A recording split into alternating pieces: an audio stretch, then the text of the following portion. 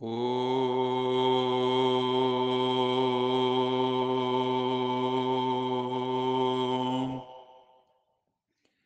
शान्तिः सत्यं शिवं सुंदरम सच्चिदानंद स्वरूप सत श्री अकाल मूर्त ज्ञान के सागर, प्रेम के सागर, सुख के सागर पतित पावन कृपा निधान,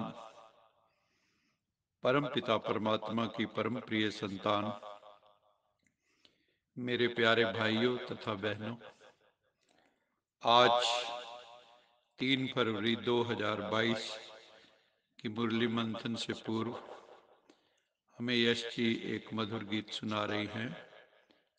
मुसाफिर जागते रहना। नगर में चोर आते हैं।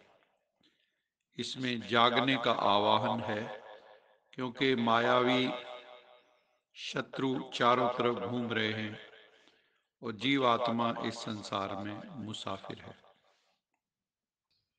ओम शांति।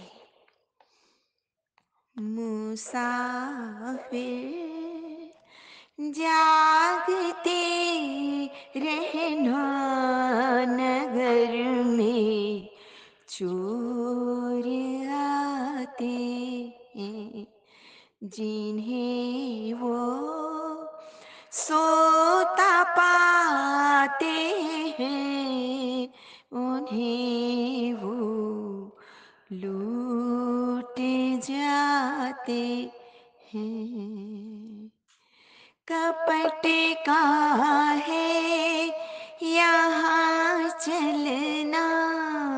सभी व्यापार दिन राती दिखा कर सूरते सुंदर जाल में वो फसाते हैं। मुसाफिर जागते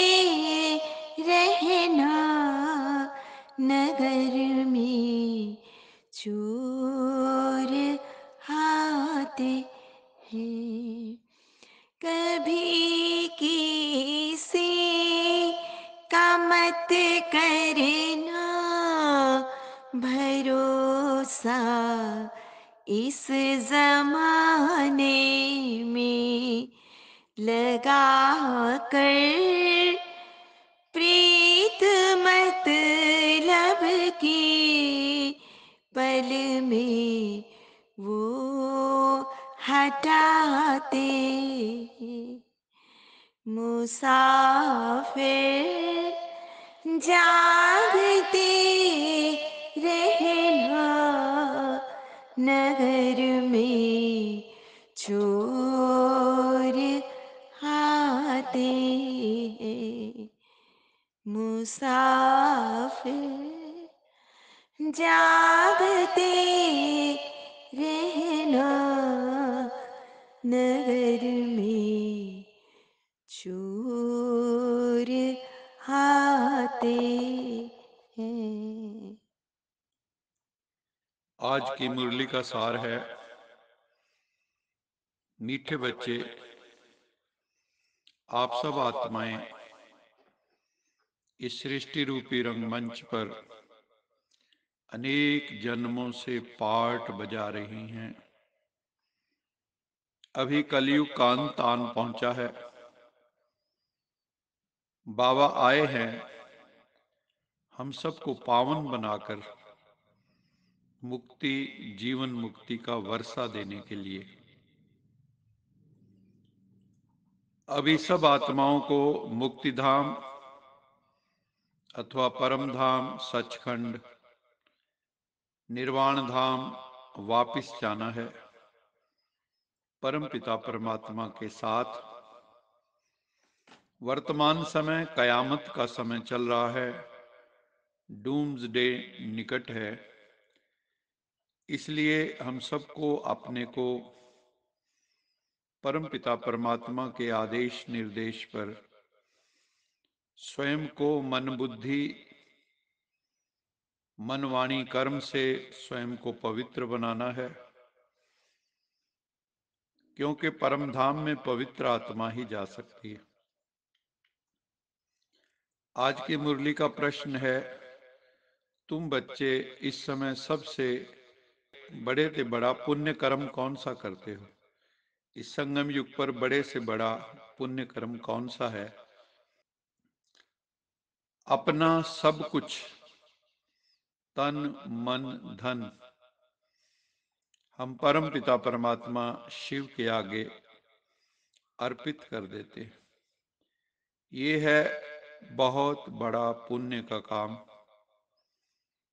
सब कुछ प्रभु के समक्ष सरेंडर करके श्रीमत पर चलने से बहुत ऊंच पद मिल जाता है, बहुत ऊँची तकदीर बन जाती है। जैसे शिव पिता परम आत्मा है, सुप्रीम सोल है। वैसे जो विशेष पार्ट बजाने वाले बच्चे हैं इस सृष्टि चक्र में, वो भी हर बात में परम यानी श्रेष्ठ है। सिर्फ़ चलते, फिरते, खाते, पीते, विशेष पार्टधारी समझकर, ड्रामा की स्टेज पर पार्ट बजाओ। साधारण नहीं समझो, हर वक्त समझो। मैं विशेष आत्मा हूँ, मैं हीरो आत्मा हूँ। हर समय अपने कर्म अथवा पार्ट पर अटेंशन रहना चाहिए कि हमसे कोई भी गलत पार्ट ना हो। हीरो पार्टधारी कभी नेग्लिजेंट नहीं होते, अलबेले नहीं होते केयरलेस नहीं होते। हमेशा समझो, मुझे बहुत अच्छा पार्ट इस वर्ल्ड ड्रामा में बजाना है। यदि हीरो एक्टर साधारण एक्ट करे तो क्या सब किसी को अच्छा लगेगा? सब हंसेंगे कि हीरो एक्टर होके क्या कर्म कर रहा है। इसलिए हर कदम, हर संकल्प, हर सेकंड हमारा विशेष होना चाहिए। साधारण नहीं होना चाहिए। ऑर्डिनरी ना हो एक्स्ट्रा ऑर्डिनरी हो। मन, वाणी, कर्म। परमपिता परमात्मा का फरमान है कि हे बच्चे, मन मना भाव मन को मेरे में लगा दो। निरंतर मुझे याद करने से तुम विकर्माजीत बन जाएँगे, कर्मातीत बन जाएँगे, धर्मराज की सजाओं से बच जाएँगे। परमात्मा के पास विक्रम विनाश कराने के दो तरीके हैं। एक है सजाओं से पवित्र बनाने का तरीका। दूसरा है योग लगाने से पवित्र बनने का तरीका, जिससे पाप नाश होते हैं। तो एक है दुख की भोगना भोगना। दूसरा है योग से पापों को काटना। लेकिन जिनको जीवन मुक्ति का पद प्राप्त करना है उनको तो योग की शक्ति से ही जीवन मुक्ति का पद प्राप्त करना है। दुख के आवागमन से छूटने के लिए परमात्मा की याद के सिवा और कोई उपाय है नहीं। We should always be in the consciousness of God soul conscious and God conscious इसके लिए बहुत पुरुषार्थ करना है। निराकार भगवान किसके साथ बात करते हैं? अपने बच्चे निराकार आत्माओं के साथ। बाबा किसी के शरीर को नहीं देखते, रूप को नहीं देखते। बाबा चमकती हुई रूह को देखते हैं। आत्मा, शरीर बिगड़ तो कुछ सुन ना सके, बोल ना सके। ये एक ही ऐसा सत्संग है जिसमें परम पिता परमात्मा बैठ आत्माओं को समझाते हैं। उन्हीं आत्माओं को साथ लेके जाते हैं, क्योंकि ड्रामा का चक्र अब पूरा हो रहा है। ये है सभी आत्माओं का निराकार फादर। सत्यम, शिवम, सुंदरम, सच्चिदानंद स्वरूप, जो ओशन ऑफ़ नॉलेज सृष्टि, ड्रामा के आदि मध्य अंत को जानने वाले हैं। भगवान शिव हमें आकर सहज राजयोग सिखाते हैं। जिससे आत्मा पवित्र बन जाती है, सतोगुणी बन जाती है, निर्मल बन जाती है। पापों की मैल धुल जाती है। परम पिता परमात्मा गाइड बनकर आया है और लिबरेटर बनकर सब दुखों से छुड़ा के हमें साथ ले जाएगा। और परम धाम से फिर सुख की दुनिया में भेज देगा। सुख धाम में, सतयुग में भेज देंगे, स्वर्ग में भेज देंगे। घड़ी घड़ी अपने को देही अभिमानी समझो। मैं शरीर नहीं, मैं आत्मा हूँ। तब ही परम पिता परमात्मा की याद आएगी। ऐसे बाबा के साथ बहुत रिगार्ड से चलना है। समझते भी हैं कि शिव बाबा कालों का काल महाकाल महाकालेश्वर कहते सबको साथ ले जाएगा। वास्तव में शिव बाबा को ऊँचे ते ऊँचा पार्ट मिला हुआ है, इसलिए सारी दुनिया याद करती है। बाबा ने बताया है कि आत्मा अति सूक्ष्म, स्टार मिसल है। इसमें ही सारा पार्ट भरा हुआ है। ये भी कुदरत का एक वंडर है। फिर बाबा ने कहा, ब्रह्मा है ब्रह्मपुत्रा नदी, बड़ी नदी। बड़े ते बड़ी नदी है, फिर है सरस्वती।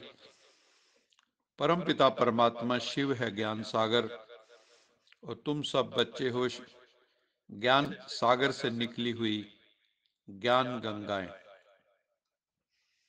दुनिया में अनेक मत मतांतर है। बाप कहते हैं, ये सब असत्य सत्य बोलने वाला एक ही गॉड फादर कहते भी हैं, सत श्री अकाल मूर्त, सच्चिदानंद स्वरूप, सत्यम शिवम सुंदरम। सभी आत्माएँ अकाल मूर्त तो सत श्री अकाल एक ही है। बाकी सब है असत, अर्थात झूठ। गॉडली नॉलेज ये गॉड ही आकर देते हैं। तुम बच्चों को याद रखना है, ये ड्रामा पूरा होता है, अभी हमको घर वापस जाना है। फिर बाबा ने कहा, जैसे गवर्नमेंट के सर्वेंट होते हैं, वो आठ घंटे सर्विस करते हैं, तुमको भी आठ घंटे तक ये याद की यात्रा, राजयोग का अभ्यास करना चाहिए। अंत में तुम आठ घंटा इसी गार्डली सर्विस में रहेंगे तो तुम बच्चों को फिर पूरा वर्षा मिलेगा। तुम बच्चे अब बाबा के सन्मुख बैठे हो। सन्मुख सुनने से ज्ञान बुद्धि में छप जाता है। घड़ी घड़ी याद करते रहो, अब वापस घर जाना है। तुम्हारा अब मरने का डर निकल गया है, क्योंकि पता लग गया है कि मैं आत्मा, अजर, अमर, अविनाशी, मैं सोल हूँ। जो सोल कॉन्शियस आत्माएँ हैं, वो अच्छी सेवा करते हैं। जो बॉडी कॉन्शियस हैं, वो अच्छी सेवा नहीं कर पाते। बाबा को तो ज्ञानी तो आत्मा पसंद है। वही आत्माएँ प्रिय लगती हैं। तो हमें ज्ञान योग का अभ्यास निरंतर करते रहना है। आज का स्लोगन है, अपनी वृत्ति को पावरफुल बनाओ तो सेवा में वृद्धि स्वतः होगी। तो हमें अपनी वृत्ति को, मनोवृत्तियों को शक्तिशाली बनाना है पावरफुल बनाना है। क्योंकि जैसी वृत्ति होगी, वैसा वायुमंडल होगा। वृत्ति रूहानी होगी तो वातावरण भी रूहानी तैयार हो जाएगा। तो उस वातावरण में फिर सेवा ऑटोमेटिकली होगी और सेवा वृद्धि को पाएगी। अच्छा मीठे मीठे सिकिल दे बच्चों प्रति। मात पिता बाप दादा का याद प्यार गुड मॉर्निंग रूहानी बाप की रूहानी बच्चों को नमस्ते। हम, हम रूहानी बच्चों की रूहानी मात पिता बाप दादा को याद प्यार गुड मॉर्निंग और नमस्ते। सदा रहो। हँसते। कहीं नहीं। फंसते। बन जाओ। फरिश्ते। बाँध लो अपने। बसते। चलो प्रभु के। रास्ते। वाहेगुरु जी का खालसा वाहेगुरु जी की फतेह। बोल साचे दरबार की जय। लोका समस्ता सुखिनो भवंतु लोका समस्ता सुखिनो भवंतु लोका समस्ता सुखिनो भवन्तु